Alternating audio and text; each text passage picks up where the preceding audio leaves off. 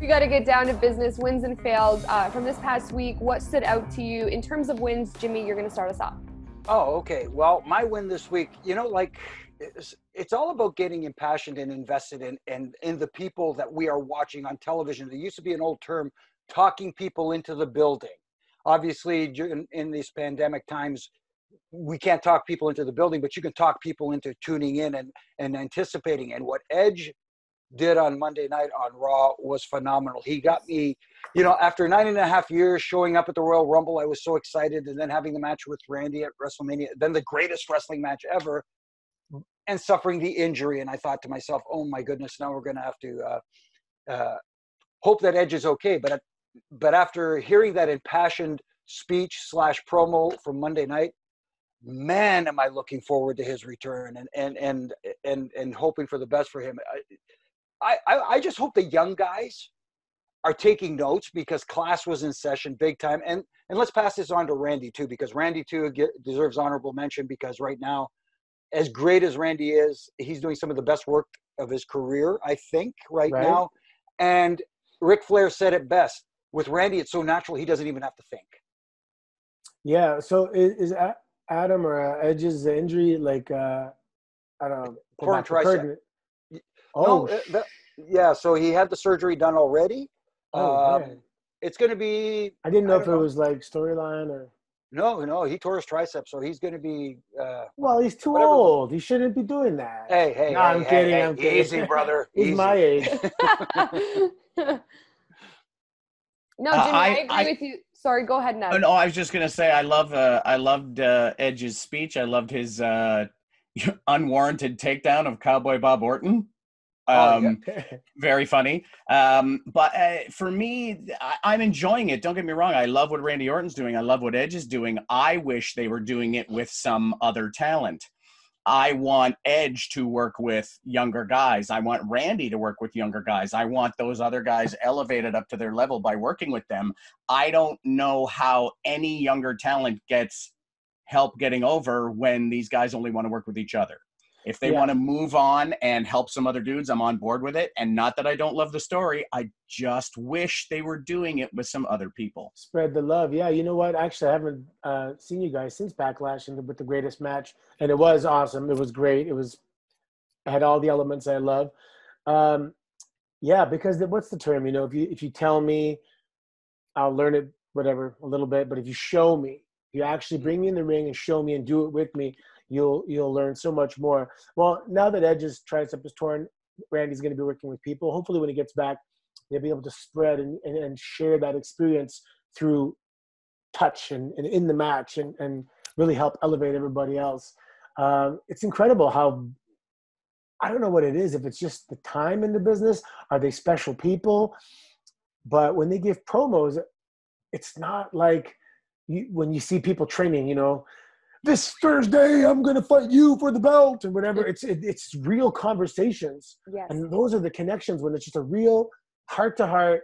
This is me as a man or woman, and, and and just putting it all out there. And that I mean, forget the wrestling, but yeah, even just with the promos, there's so much to learn and take away from those guys. When when Edge was giving that promo, I felt like he was. I think um, with superstars who have this ability, they feel like they're staring into your soul through the TV. And like, I know that Edge isn't only speaking to me; he's speaking to every single WWE fan who's watching Monday Night Raw. I think he was just I, speaking to you, actually. Uh, maybe he was just speaking to me, but I literally was like, I felt like Edge was having a one-on-one conversation with me, and I was scared because I was like, this guy means business. Like, it was one of those moments where I was just completely um, you know nothing could take my attention away from in his eyes and and the delivery it was so natural uh, I, I thought that you know that promo was probably one of my favorite promos that I've seen in a long time.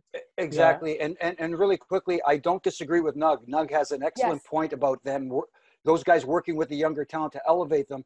But before they do that, this is how it's done, guys. This is how you can do it without having to do twisting, burning 450 hammer phoenix splashes yeah. for no reason at all. You can tell a story in the ring, you can get guys invested. Here's what you want to do. We'll show you and then later on we'll do it together and uh, that's the way i feel it should be done anyway yeah absolutely you know what when you teach something you have to teach it as a whole break it down on individual parts, and put it back together again as a whole. So that was the whole. Now they're going to go work with everybody else and hopefully break it down and be able to put it back together. Break it again. down. Break it down. Sorry, I couldn't help myself. Yeah. All right, Nug, your win.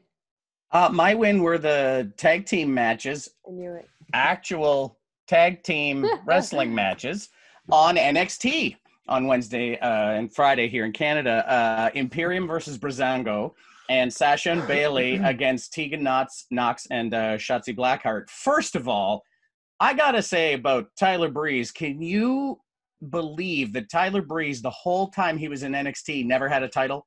It makes no sense. He, I think he had an FCW title at one point, but once it became NXT, he never had a title. And Tyler Breeze and uh, Fandango were so good in that match against Imperium, and Imperium was so good as a result of that, which is exactly the kind of thing you want to see in NXT. Also, Sasha and Bayley finally making good on the promise they they made when they became tag team champions, came to NXT to defend those titles.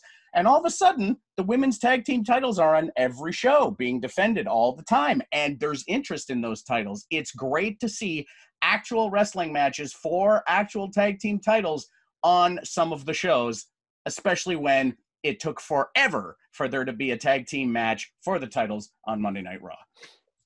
No, I, yeah. I, to- I totally agree. And and here's the funny thing too, uh, to take it in a little bit of a different spin on that. Um, people tend to label NXT as the quote third brand. Mm-hmm. Uh, the fact that p- people like uh, the tag team champions, Sasha and Bayley and Charlotte, and everybody who has gone I don't want to say back, gone over to NXT, shows that that brand is on an equal level to the others. And that's what I'm liking about this as well. It, it, it is, you, t- you mentioned Fandango and, uh, and Tyler Breeze. Nice to see them back. Those guys are awesome. They're very entertaining. I like where NXT is going because we're getting that nice mix of, you know, old school classic meets new school meets nice blend, if that makes any kind of sense. Yeah. Yeah, it's definitely helping uh, that cause to, to you know bring up the perception of NXT. Uh, it'll take some time. I, I think, so, and some of it too. So the things that we like about NXT, like I mean, Jimmy, you and I like the fact that there's the lights are down and it's more the ring is accentuated more. Um, it's more for wrestling, but that's also the part that that diminishes the the, the perception because they don't have all the production value as well. So I like it better, but I can see how it might be seen as, oh, they're not putting as much into it kind of thing. Perception um, is reality. Yeah. Yeah. I mean, if all three brands were like NXT, I think the industry would be better off with terms of production. You know? Now, Nug, what do you, what are your thoughts on Sasha and Bayley? Because I feel like within a week's time, or maybe a little longer, I've like started to really like them, and that kind of goes into my win. Uh, but I just want to hear your opinion first. Yeah, I, I don't. Uh, I think they realized that we don't care uh, if they break up and fight, and I think they played into that on Monday Night Raw, where Sasha looked like she was going to challenge Bayley and then challenged Asuka. Play with our expectations. That's great. Uh, I'm fine with that. I don't uh, I don't mind them uh, being on the same page and defending those titles all over the place because they should be defended all over the place. But also, it just makes me hate them more, which means whoever beats them is going to be someone I love more. And I think Iconics. that's the most important thing. Yes, the Iconics would be fantastic. Uh, that's that was my win. I, I, I loved Sasha's swerve almost uh, at the end of Monday Night Raw with her when she was on the when she was on the mic with Bayley. Uh, I love the fact that we're gonna get Sasha Banks and Asuka at Extreme Rules, or you guys pronounce Extreme Rules better than I. Weem. There's Ex- a W in the middle there. Uh, I, I love that because I think because I was actually looking on Twitter after, and people were like, "No, we wanted, you know, we wanted Sasha and Bayley to turn on each other." I was like, "Am I the only one who did not want?" I was almost watching that, like, "No, no, not again, no, no." And then next thing you know, she's like, "Asuka, Raw Women's Championship," and I was like, "This is perfect. I love that." She totally had me fooled. Uh, so that was my win, and and I'm actually really looking forward to to Sasha and and Asuka. I think it'd be a good match. I think so too. Me too. Uh, you know what? Uh, you know what I loved about it though, because like you said, Caroline, people were expecting. They're waiting for that turn. They're waiting for Sasha to yeah. turn on Bayley and stuff like that. Don't give it to them. Exactly. I Make felt that way wait. too. Well, it's funny because Sasha, I thought she was stooging it off in the beginning by kind of just her demeanor changed, and I go, oh, here we go, here we go, and then ah, oh, Asuka gonna kill you. Yeah, exactly right. I I love that Sasha's a little like it's, I'm a little jealous of Bayley, my best friend. You know, we're tag champs, and she's got this other belt. But how great would it be if Sasha wins and then Bayley and Sasha are both two belt champion? Like it's crazy mm. to think that Four they would have all the women's titles between the th- two of them.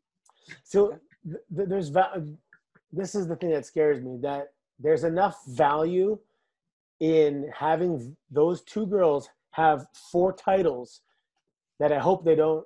I hope Asuka doesn't lose it because of that, you know, because they can for, for the bragging rights and the heat that they can generate by being so mm-hmm. oh, irritating.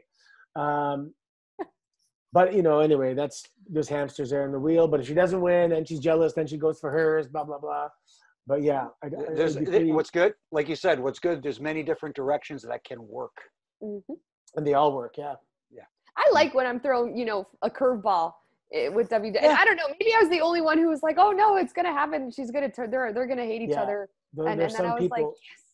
They, they, they, I must predict. I must predict everything. Oh, and, and then I have to like if I if if they're right, if it what they predict happens, then they're like, "See, everybody, I was right." Yeah. And then if they're wrong, what happened was stupid. yeah, I, yeah. I, either that or they, they they did it because I knew. Yeah, they changed because they know they read my Twitter and they know. Yes, exactly. AC, your win. Ninjas. yeah, uh, last week, and I didn't see you guys last time when when the when the the rivalry of the the Viking guys and and the Street Profits. Um, and then and, and then Tozawa shows up with like these ninja motorcycle guys, and at first I thought, oh god, I hope he's not going to be thrown into the mix uh, of the whole situation. But anyway, this week he uh, was out there. It wasn't had nothing to do with them, but just he has a band of ninjas, and, and Tozawa has just stepped up as this comedic figure. He is hilarious. And anyway, he's a ninja, and I just thought I, love you know. I may have dressed up in a, a couple ninja outfits in my time. Can we can we see those photos? Oh, there's no photos. In theory, you oh. can't see them. I was a ninja. I was hiding. Oh. Smart answer. Uh, for all we know, maybe AC was one of the ninjas that Tozawa. Uh, but the, actually, go ahead. So, so when I started wrestling, um, you know, it was a character named Johnny Giabosco, and I did. It was hard to really shoot out that that that personality. You know, I was just kind of it was just a character. There was no character. And one day, someone said, "Can you do the double duty?" And I put on a ninja outfit actually, and the, the name was Sensei Hiroshima or something like that. And after the match, everyone was like, "Wow, that was the, the most personality we've ever seen you have in a character." And uh, because I was wearing a mask and I had to pantomime extra and do all that kind of stuff, maybe that's why I like it. But ninja, yeah, I was a ninja once. I, I, I'm enjoying Akira Tozawa. I think he's he's fun in this new uh, iteration of himself. But I'm having a problem with a bunch of motorcycle ninjas who are just basically fodder for everybody else. Yeah. How good of a ninja are you when all you do is just get beat up? Hey, I'm just happy that all the ninjas are wearing masks. Uh, yeah. Such a nice comment. Caucasian social, ninjas. social distancing ninjas. That's right. yeah. AC or fail? My fail same segment when uh, with R-Truth, man. So okay, just because somebody becomes or somebody is is the comedic guy doesn't mean he's weak. You can be fun. Look at The Rock. Rock was hilarious and he was tough. Stone Cold was hilarious. So R-Truth now that he's funny R-Truth, and and he just doesn't fight and stand up for himself anymore. You got to have both, man. If you want to get people really behind you, um, one if you make them laugh they're going to like you a lot you know because you're giving them good times and good experiences but you got to stand up for yourself or else people because also you have to remember one of the main objectives for me anyway and, and the way I, I teach it is that you you want to be somebody that kids want to be when they grow up. And if you want to be funny you want to be entertaining that's fine but you don't want to get beaten up. So it just take you gotta stand up for yourself man. If you want to you got anyway it's bothering me. I want to see him stand up for himself. Oh, I get that, but I, I'm entertained by R-Truth. Our truth makes me smile every time he comes out, and he's he he's so entertaining. He, he's accepted this this uh, iteration of himself, and and and more power to him. He's having fun. Yeah, I he was- has to was- again have a bad. You know, like eventually you lose your temper, or you know, fight back. You know, that kind of thing. I was glad to see him uh, not lose the title, but to lose it in an actual match instead of being surprised that someone snuck up on him with a referee for the 400th time. Oh yeah, Uh, that's right. Akira won the. Yeah, and uh, I'm glad that um, you know the the comedy of R-Truth makes you love him so much that whoever attacks him, Bobby Lashley, uh, makes you hate that guy even more. Yes. True. Anyone else sing with him when he comes out? No, uh, unfortunately, yeah, uh, Audra, my wife, had to. Uh, she goes, "What are you singing?" I said, uh, "No, I just what's up." So Uh, what's up? I'm just saying what's up. What's I'm up? just saying what's He up. told me to say it. He pointed at me, so I said, "What's up?" His lyrics are kind of. uh he he has a scratchy voice. Sometimes it's hard to understand Yeah. the lyrics. They worked Okay. though. Jimmy, your fail. Okay, kind of ties in with this. Uh, uh, you know, I thought there was a missed opportunity last night with the 24 7 slash I 95 South, whatever hardcore championship with R-Truth. I, I, I thought there was a missed opportunity with R-Truth and uh, Nia Jax. I thought this was an opportunity to maybe throw, you talk about throwing curveballs out there. There is a curveball for you. They had some interaction. I thought they interacted very well. That was very entertaining. I thought there was an opportunity there where maybe Nia Jax sneaks one over on R-Truth and becomes the champ. I just Oh, thought yeah. that th- I thought there was a missed opportunity to have some so, something different and a lot of fun with the 24 7 Romance. I would like to see a Nia Jackson, R-Truth romance. That'd be great. ah, you never know maybe down the line but uh, again there's something there that i thought was missed Nug, Well, hit me pressure. with the fail. Uh, my my fail is this uh, is is the wild card random people moving around over, and we're back to the trades. Uh, the trade happened. Uh, AJ Styles got traded for two guys, so Bobby Roode and Dolph Ziggler add up to one AJ Styles, uh, and suddenly Dolph Ziggler, being worth half of an AJ Styles, is in line for a title shot on Raw. I like all of these guys, and I think people get really caught up with the trade stuff or with the wild card stuff, and that's fine. It's just a way to use guys on other shows, and that's great. But that trade announced last night makes no sense to me. Dolph was working with Sonya Deville. All of a sudden, he's not, and he's on Raw with a tag team partner that's not there. And now, because he's in a tag team, as he mentioned, he's now in line for a title shot. It's a bunch of weirdness. It makes no sense, and it makes some of your superstars look worth less than others. Yeah. Yeah. yeah i would love to add to that but there's nothing i could add to it to uh, accentuate what you just said because it was right on the money Yeah, I think they they started backwards. So what what, what they did is they wanted Dolph over here. Um, okay, so we're gonna get him here. How do we get him there? What's good enough? A, a good enough reason instead of the storyline driving him over. It was the destination first, and I guess they deemed that good enough. Yep. Yeah, the, the the way that it was done is weird, but I actually don't mind Dolph and Drew together. in oh, the Oh, match. I I think I'm that's fine gonna with be No. it. Yeah, I'm fine be a with the result. it'll be a great match but it's it's it, you need reasons we give us reasons Right. for it to happen and we didn't get any other Hopefully than hey i'm here guess what How'd you get here? Why are you here? Oh, You know, I I'm just not worth showed that up. much. I got traded. I I got a got lost, spot. and now I'm on Raw. quickly quickly before we we head off uh, my fail it's not really a fail it's just an observation. I want more bray wyatt content and i want bray what bray wyatt's doing in his off time. I want more of his dinosaur drawings. Tiktok he mentions tiktok. I literally as soon as he said he's been practicing his tiktok i went on tiktok and i was like bray wyatt does he have an account? Why can't we get the fiend or bray wyatt doing some cool tiktok dances? There, the, there's just so many possibilities for him and, and i just want to see him do everything. Uh, to me this is i want to see what he does in his off time and and watching that little promo first of all his promos to me are like the best. Uh i genuinely would stay on social media to watch what he's doing in his free time. And I want to see all of his drawings and all of his dances, uh, including all, obviously the stuff he does with WWE and Inside the Ring. But to me, there's just something very appealing to think about what he does in his spare time.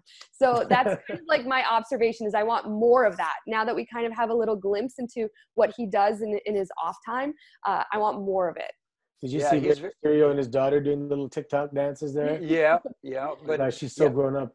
But it, uh, it's amazing because I remember both her and Dominik, Aalyah and Dominik, when they were like little kids. When they, yeah, you know, they, yeah oh my god, she was funny as a little kid. She had like attitude, and she. yeah, that's true. That's true.